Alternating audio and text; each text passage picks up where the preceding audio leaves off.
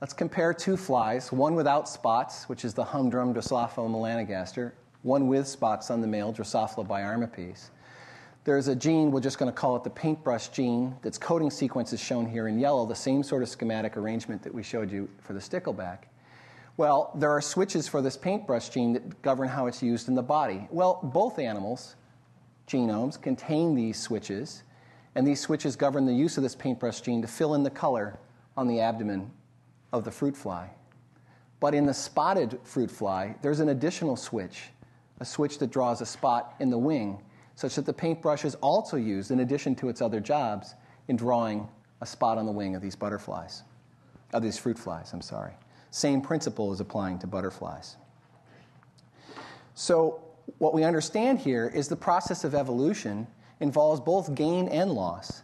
In the case of the spotted fruit flies, a new switch has evolved that draws a new pattern. It's expanded the role, expanded the number of jobs of a toolkit gene. In the case of the reduced pelvic sticklebacks, a job has been abandoned.